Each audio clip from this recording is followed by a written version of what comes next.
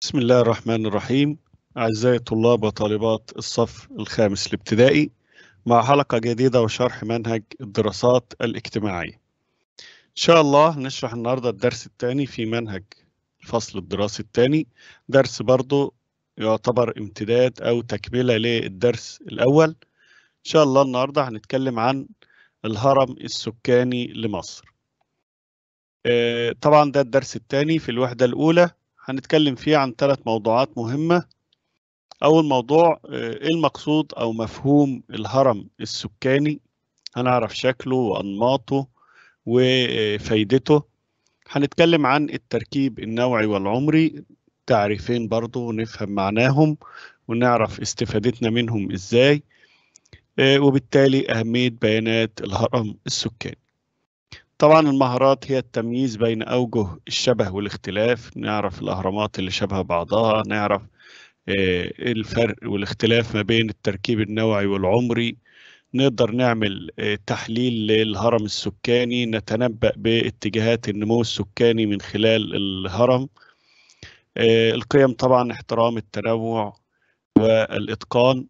القضايا المتضمنة الصحة والسكان المواطنة العولمة. أهداف درسنا النهاردة إن شاء الله في نهاية الدرس سأكون قادرا على أن أتعرف مكونات الهرم السكاني لمصر أميز بين التركيب النوعي والتركيب العمري لسكان مصر أحلل الرسوم البيانية والجداول المتعلقة بالتركيب السكاني لمصر أقارن بين بعض الأهرامات السكانية لمصر خلال فترات زمنية مختلفة. نتفاعل معا يختلف سكان مصر من حيث العمر ومن حيث النوع ذكور وإناث.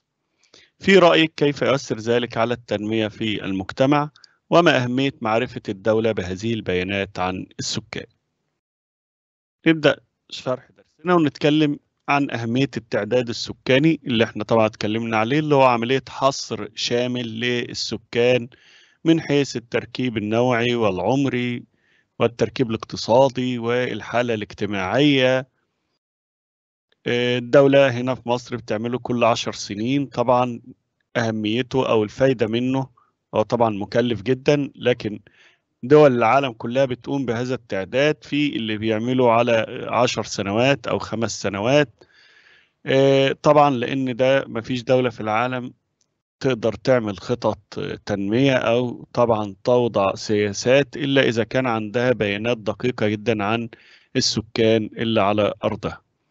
فأهمية التعداد السكاني زي ما إحنا شايفين كده أولا التخطيط الجيد للتنمية وتقدم المجتمع. آه تاني حاجة توفير معلومات دقيقة حول السكان. يعني إيه تخطيط جيد للتنمية وتقدم المجتمع؟ هنفترض إن في مدينة مثلا آه اتولد فيها السنة دي عشر تلاف طفل. أو محافظة مثلا زي أي محافظة في مصر عدد المواليد خلال السنة أو في مدينة أو محافظة عشر تلاف. طيب الأطفال دولت كمان خمس سنوات طبعا محتاجين يدخلوا المدرسة. طيب عشان يدخلوا المدرسة إحنا بنقدر نشوف إحنا كدولة بقى عندي كام مدرسة عندي كام فصل في المدارس دي يستوعب الطلبة دي ولا لا يستوعبها؟ طبعا نفترض مثلا إن أنا عندي 200 فصل يبقى أنا تقريبا الكثافة هتكون 50 طالب في الفصل. تمام؟ طيب لو عندي 100 فصل لا الكثافة هتكون 100 طالب في الفصل. فطبعا إذا أنا الكثافة في الحدود المعقولة فده شيء كويس. أما إذا كنت محتاج لفصول جديدة فأنا طبعا قدامي فرصة أهوت خمس سنوات أقدر خلالهم إن أنا أبني مدارس جديدة أو أتوسع في المدارس طبعا لاستيعاب الطلبة اللي هيدخلوا في المدارس.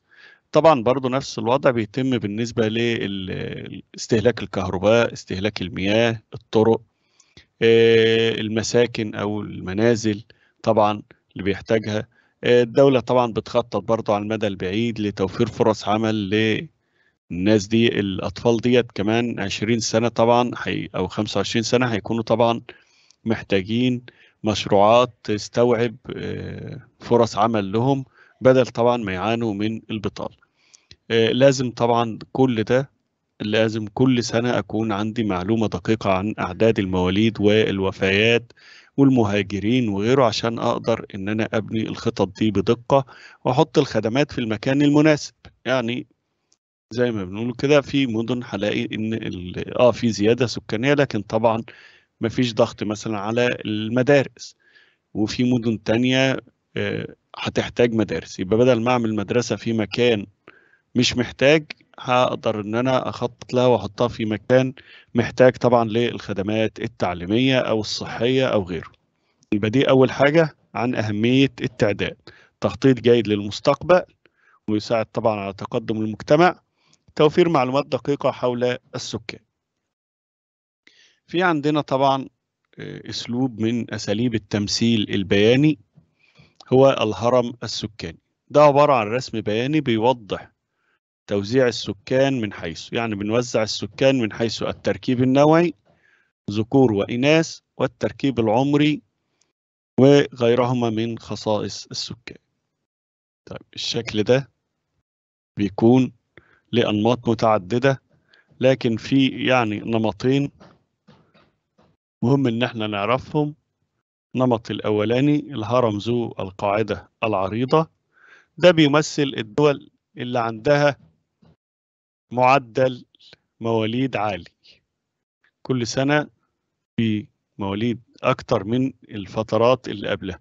طبعا إحنا كل درجة أو كل عتبة من دي تقريبا بتمثل بخمس سنوات يعني من صفر لخمسة من ستة لعشرة من 11 ل 15 وهكذا لغاية لما نوصل تقريبا لسن ال 75 فما فوق. فطبعا ده مجتمع كل سنة بيولد أو معدل المواليد فيه أكتر من الفترة اللي قبلها فبيظهر عندنا كده بشكل قاعدة عريضة. تمام؟ جدا المجتمعات بقى دي غالبا المجتمعات النامية والدول النامية والفقيرة وغيره.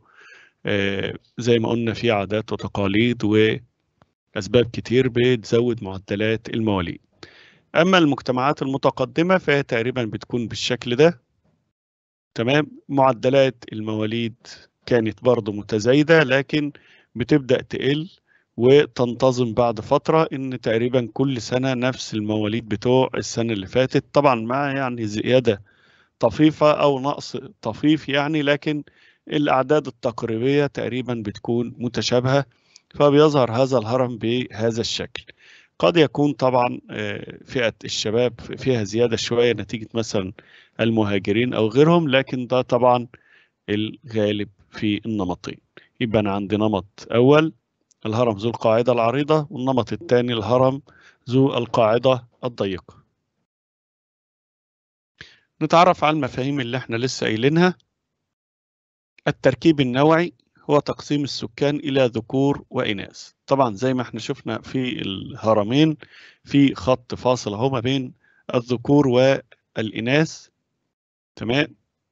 بيمثل هنا عدد الذكور في هذه الفئة العمرية عدد الذكور أهوت وعدد الإناث. تمام؟ يبقى ده تقسيم تقسيم الرأس ده إلى ذكور وإناث. أما الأفقي حسب فئات العمر. طيب نسبة الإناث عموما في مصر شهدت طبعا ارتفاع في الفترة الأخيرة هي كانت أقل من كده.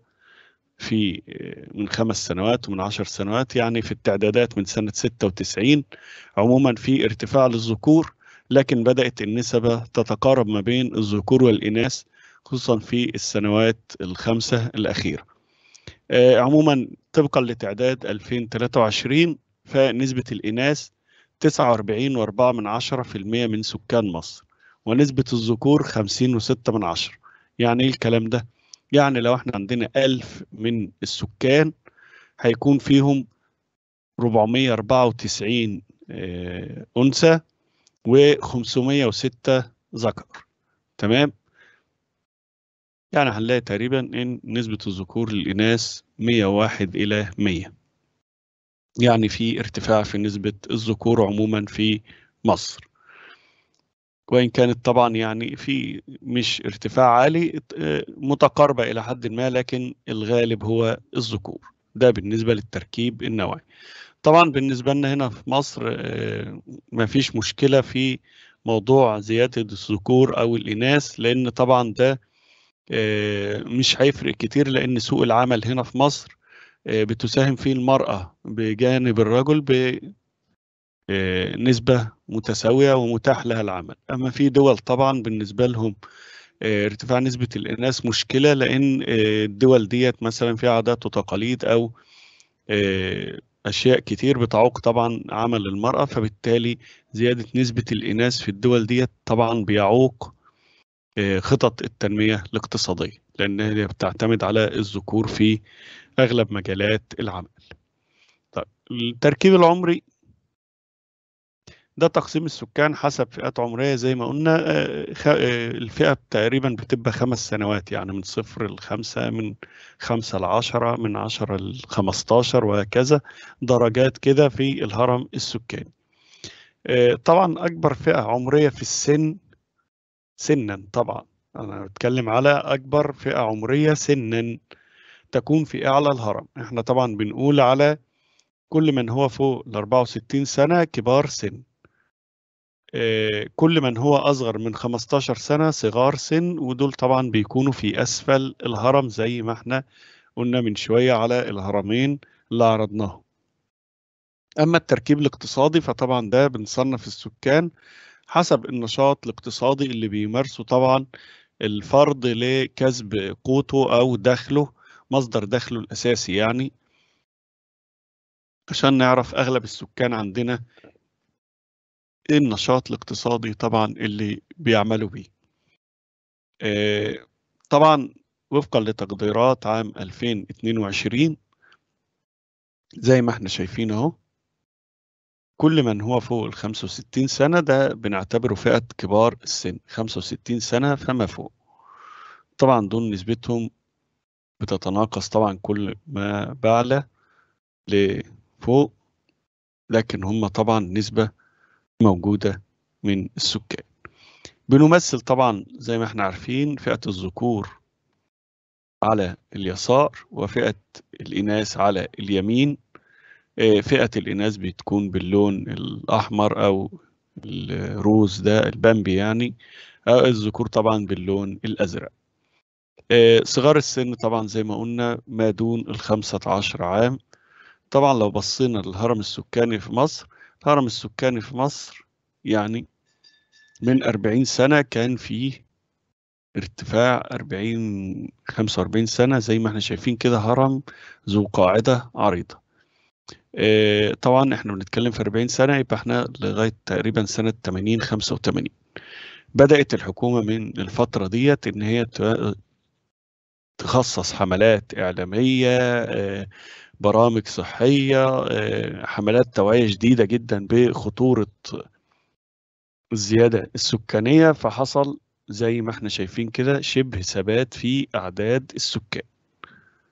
يعني بدأ المعدل هنا زي ما إحنا شايفين عالي جدا اهو. تمام؟ بدأ يحصل ثبات تمام إلى حد ما في معدلات نمو السكان وإن كانت طبعا مش تناقص. يعني هو زي ما إحنا شايفين كده المعدل مثلا هنا واحد وأربعة من عشرة ارتفع بقى واحد وثمانية من عشرة بقى اتنين في المية بقى اتنين ونص. ففي تزايد اهو. هنا طبعا التزايد زي ما إحنا شايفين كده تلاتة من عشرة. هنا في ثبات اهو فترة عشر سنين تقريبا حصل فيهم ثبات في الذكور والإناث وبدأنا كنا داخلين على مرحلة استقرار وده شيء كويس إن أعداد السكان في تزايد آه بس معدل التزايد ثابت وده في حد ذاته نجاح. إن أنا أثبت عند معدل معين. ده تقريبا في 30 25 سنة الأخيرة. يعني برضو إحنا بنتكلم في فترة التسعينات. تمام؟ مع بداية الألفية كان زي ما إحنا شايفين أهو برضو يعني تزايد برضو مش كتير. برضو لغاية من 15 سنة مفيش مشكلة. وبعدين بعد طبعا أعقاب ثورة يناير حدث عودة تاني للتزايد بمعدل كبير.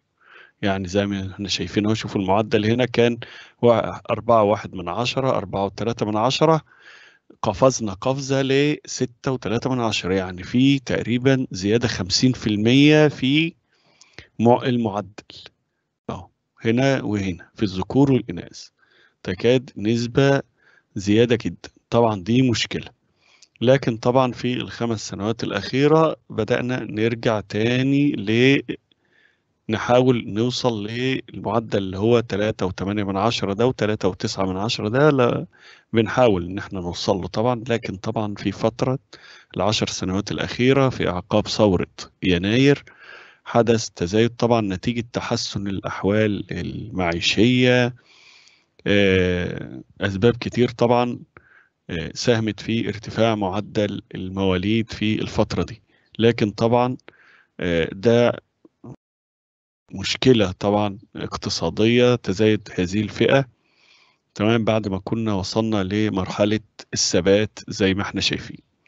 طبعا الغرض من الكلام اللي أنا بقوله ده من ساعتها إن إحنا لما نبص لأي هرم سكاني نقدر نحلل الهرم ده رايح لتزايد ولا رايح لتناقص؟ هل في مشكلة في الإناث؟ في مشكلة في الذكور؟ في معدلات هجرة؟ في أي حاجة؟ في فترة مثلا مرت في الحروب طبعا عارفين مثلا حرب السادس من أكتوبر مثلا من خمسين سنة مثلا. فنوصل للفئة اللي هي من خمسين لخمسة وخمسين دي فعلا هنلاقي إن فيها نسبة الذكور أهوت أقل من نسبة الإناث. يعني شايفين نسبة الذكور 2% والإناث 2.1 من عشرة. لأن الفترة دي طبعا كان فيها حرب الاستنزاف. هي هي فترة من 50 ل 60 سنة بنلاقي إن كان فيها فترة حرب الاستنزاف وحرب أكتوبر. فطبعا نسبة الذكور فيها أقل طفيفة. يعني طبعا تناقص طفيف لكن طبعا لما أنا كلحظة حد بيحلل هرم سكاني أعرف إن الفترة دي شهدت حرب أو شهدت هجرة طبعا ذكور سابوا البلد مثلا وسافروا للعمل في دولة تانية أو كده. يبقى ده تحليل الهرم السكاني. طيب نتكلم عن الهرم السكاني لمصر. صغار السن قلنا من صفر ل 14 ويمثلون ثلث السكان وهي فئة غير منتجة وتحتاج إلى رعاية. منتصف الهرم السكاني سن العمل يتكون من 15 ل 64 سنة ويمثلون 60 وأربعة من عشرة من السكان وهي فئة سن العمل وهي طبعا فئة منتجة وده شيء كويس. كبار السن طبعا في التعدادات من خمس سنوات يعني كان نسبتهم تقريبا ستة واتنين من عشرة تناقصوا الخمسة وأربعة من عشرة طبعا نتيجة تعرض مصر ضمن طبعا دول العالم وباء كورونا طبعا وبالتالي ده أثر على نسبة كبار السن في المجتمع وأصبحت خمسة وأربعة من عشرة انخفضت طبعا نسبة كبار السن. طبعا لما نبص كده من المتوقع طبعا زيادة أعدادهم لأن هما في الطبيعي كانت نسبتهم أكبر من كده لكن الأسباب الطبيعية اللي هي مثلا تعرض لأوبئة أو كده هو ده اللي خفض نسبتهم. لكن من المتوقع زيادة نسبتهم بسبب زيادة الرعاية الصحية أو ارتفاع الرعاية الصحية عموما في مصر. معلومة برضو إن الفئة العمرية اللي هي أقل من خمس سنوات تمثل 11% من السكان ودي طبعا نسبة عالية. بترهق طبعا ميزانية الدولة لأن هذه الفئة تحتاج إلى رعاية طبية وصحية وغيره وبالتالي ده طبعا بيؤدي لتكليف ميزانية الدولة طبعا إنفاق عالي ممكن الدولة توجهه طبعا لمشروعات تنموية أفضل من إن هي توجهه طبعا لرعاية هذه الفئة اللي نسبتها عالية جدا طيب إيه دور الدولة في دعم فئات الهرم السكاني؟ بالنسبة للفئة صغار السن الدولة بتصدر قوانين لمنع عمل الأطفال أقل من 15 عام. ده طبعا منع العمل ده طبعا هيقلل النسبة لأن إحنا قلنا إن معدلات الفقر بتدفع بعض الأسر لإنجاب عدد كبير من الأطفال عشان يساعدوهم ماديا واقتصاديا. فأنا لما أمنع عمل الأطفال وأجرمه ده طبعا هيحد طبعا من رغبة الأسر الفقيرة في الإنجاب الأطفال لمساعدتهم ماديا. بالنسبة لفئة كبار السن هنرفع سن المعاش. آه، دي طبعا خطة الدولة بتستهدفها لرفع سن المعاش عشان طبعا آه، تقلل نسبة الإعالة. بالنسبة للتركيب الاقتصادي لمصر هو تصنيف السكان حسب النشاط الاقتصادي. يعني العمل اللي بيمارسوه ويدر عليهم دخلا. في إطار طبعا القانون. يقصد به تصنيف السكان وفق النشاط الاقتصادي الذي يمارسونه. آه، بتوضح إحصاءات الجهاز المركزي للتعبئة والإحصاء إن 25% من سكان مصر يعملون بالزراعة يعني البطاقة بتاعته مكتوب فيها فلاح عامل زراعي و23% يعملون بالتجارة يعني تاجر بائع متجول آه، آه، صاحب شركة تمام؟ دول طبعا آه، محاسب. الحاجات دي طبعا 23% من السكان يعملون بالأعمال التجارية. 13% من السكان يعملون بالزراعة وده طبعا بيشير إلى أهمية الزراعة في الاقتصاد المصري. وإن الصناعة في مصر تحتاج إلى مزيد من الاهتمام من الدولة لأن يجب أن تكون آه، مساهمة الصناعة في توفير فرص العمل وفي الاقتصاد المصري طبعا أكتر من كده لأن الدول المتقدمة في العالم هي طبعا الدول التي تعتمد على الصناعة وترتفع بها نسبة العاملين في الصناعة. إحنا كده تقريبا بنتكلم على إن الثلاثة الأساسيين دولت بيعمل فيهم 58% من السكان أو مع الكسور طبعا آه، قد يصل إلى 60% أما بقية السكان فيعملون في خدمات زي التعليم مثلا وما يرتبط به التعليم سواء آه، في المدارس اللي هو ما قبل الجامعة أو التعليم الجامعي آه، الصحة الأمن. طبعا دي كلها بنطلق عليها خدمات لكن طبعا آه، زي ما إحنا عارفين إحنا نتمنى إن تكون نسبة الصناعة أكتر من الزراعة وإن نسبة العاملين في الزراعة تقل لأن دي طبعا بيشير إلى إن اقتصاد الدولة اقتصاد قوي آه، ودخلها آه، عالي. طيب عندنا طبعا إحنا اتكلمنا من شوية عن انماط الهرم السكاني. فبنعرض هرمين سكانيين أهوت عايزين نشوف كده إحنا فهمنا الجزء الأولاني ولا لأ. ده هرم سكاني رقم اتنين اهو. ورقم واحد. ده نمط زي ما قلنا وده نمط. طبعا واضح إن الهرم السكاني الأول وصل لمرحلة الثبات والاستقرار السكاني يعني معدلات المواليد كل سنة تقريبا هي نفسها السنة اللي قبلها إن لم يكن طبعا أقل. آه، الهرم الثاني فيه تضخم سكاني ومرحلة انفجار سكاني تزايد أهوت بمعدل كبير كل سنة عن السنة اللي قبلها. طيب إلى أي أنواع الأهرامات السكانية ينتمي الهرم اتنين هرم رقم اتنين ده إحنا شايفينه تحت ينتمي لأي نوع؟ طبعا إحنا عرضنا في الأول نوعين. طبعا ينتمي إلى الهرم ذو القاعدة العريضة. آه، ده بيوضح مجتمع آه، بدائي أو دولة نامية.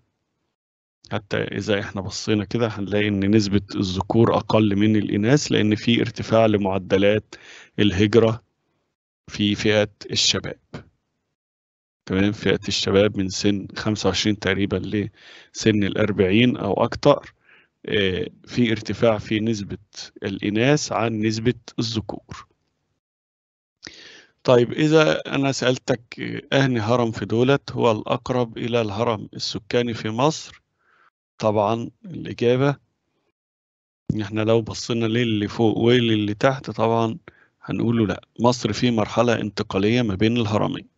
زي ما قلنا مصر كانت كده وإحنا متجهين إن إحنا نكون في هذا الشكل. فمصر في مرحلة انتقالية بين الهرمين لا هي دي ولا هي دي. يعني إحنا بنقول إن مصر في الماضي من 30 سنة تقريبا كنا في هذا الوضع. بالضبط من 40 سنة كنا في هذا الوضع. آه، في العشر سنوات الأخيرة كنا أو يعني بنتجه إن إحنا نكون في هذا الوضع.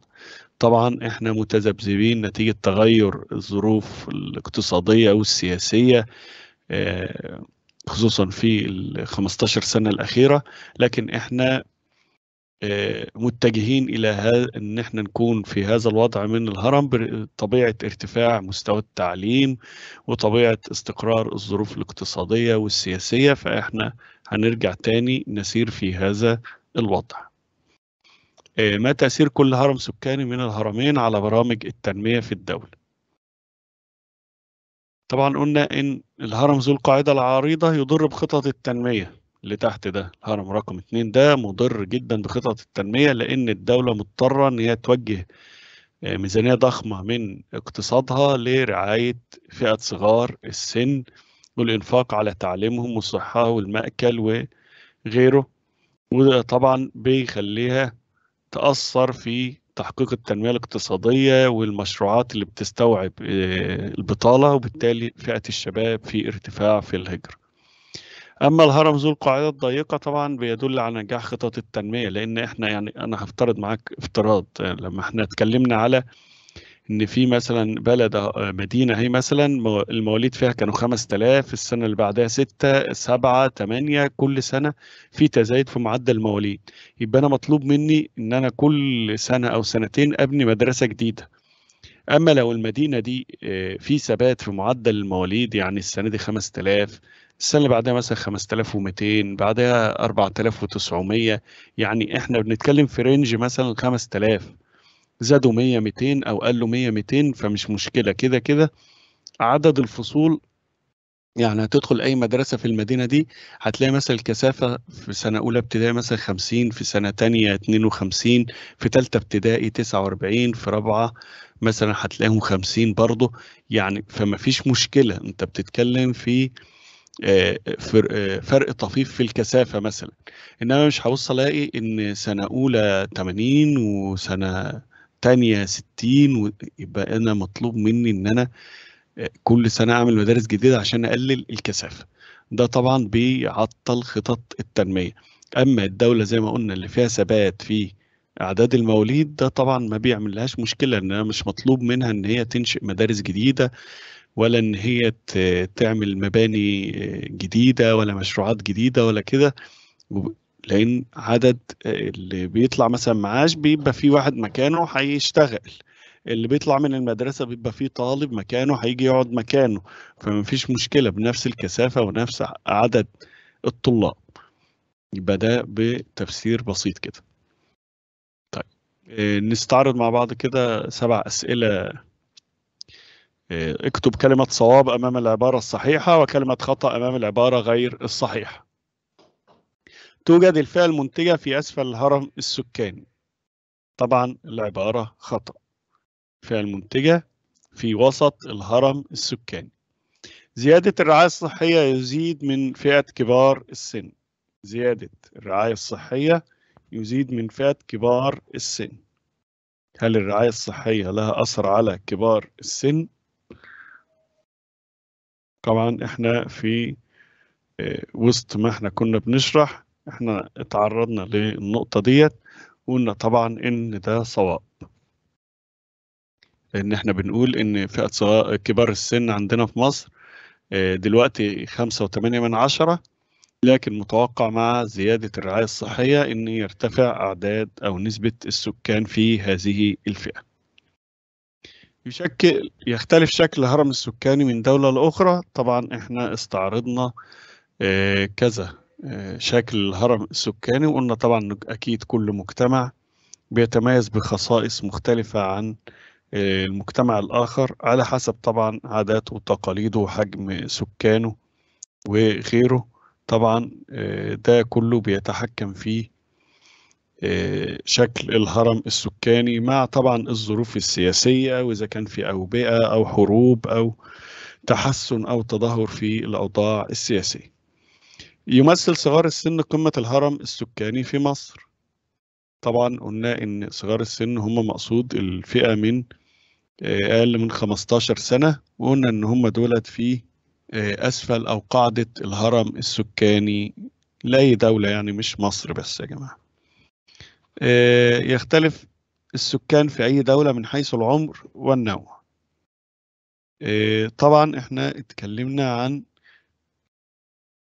إن إحنا بنمثل طبعا العمر والنوع حسب شكل الهرم السكاني. بعتذر. صواب طبعا إن في اختلاف في بين سكان أي دولة من حيث العمر والنوع. طيب يقصد بالتركيب العمري تقسيم السكان إلى ذكور وإناث. طبعا إحنا استعرضنا الفكرة ديت وقلنا إن طبعا الهرم السكاني بيمثل في التركيب العمري والتركيب النوعي وبالتالي التركيب النوعي هو تقسيم السكان إلى ذكور وإناث وليس العمر. الهرم السكاني في مصر يتميز بأن له قاعدة عريضة. طبعا العبارة هنا صواب. القاعدة صحيح مش عريضة أوي لكن هو طبعا عريضة في زيادة في المواليد في العشر سنين أو الخمستاشر سنة اللي فاتوا زي ما إحنا استعرضنا كده الهرم السكاني لمصر. دي طبعا بعض الأسئلة. نتكلم في نمط تاني اللي هو أكمل العبارات. الآتية بما يناسبها من كلمات. يقصد بالتركيب النوعي للسكان تقسيم فئات المجتمع إلى. نقسم فئات المجتمع إلى. لسه إحنا قايلين ذكور وإناث. طيب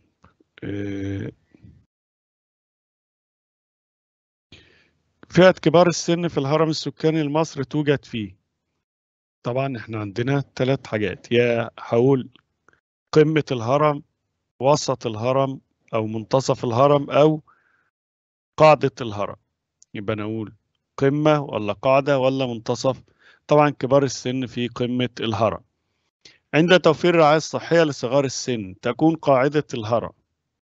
عند توفير الرعاية الصحية لصغار السن تكون قاعدة الهرم. طبعا توفير الرعاية الصحية هيزود ولا يقلل؟